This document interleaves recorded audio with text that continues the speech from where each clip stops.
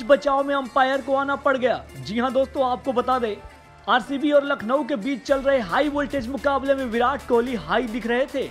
उनका एग्रेशन देखने लायक था। जी हाँ आपको बता दें, कप्तानी करते हुए किंग कोहली अपने ही सीनियर खिलाड़ी अमित मिश्रा से भीड़ गए। दरअसल, अमित मिश्रा लखनऊ के लिए बल्लेबाजी कर रहे थे और ऐसा लगा कि विराट कोहली उन्हें टीज कर रहे हैं। उसके बाद फिर क्या था, मिश्रा जी ने भी उन्हें मुंहतोड़ जवाब दिया, जिसके बाद दोनों ही खिलाड़ियों के बीच जमकर कहा सुनी हो गई। दोस्तों, मामला इतना बढ़ गया कि अंपायर को बीच बचाव में आना पड़ा। विराट यही नहीं रुके, वो अंपायर से भी भिड़ते हुए दिखाई दिए। तो दोस्तों, आपको क्या लगता है, विराट कोहली को ऐसे ही हरकत करनी चाहिए थी या नहीं? आप अपनी राय हमें कमेंट करके ज़रूर बताइएगा और सब्सक्राइब कर लीजिए हमारे यूट्यूब चैनल को। धन्यवाद।